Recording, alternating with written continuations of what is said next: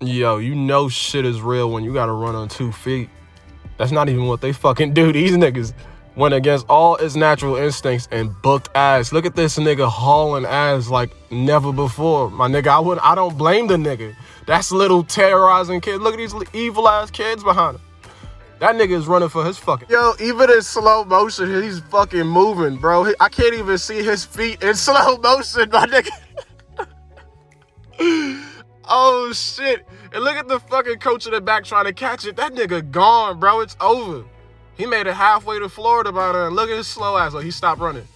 It's over. Them niggas try to hit me, cuz. Them niggas try to hit me.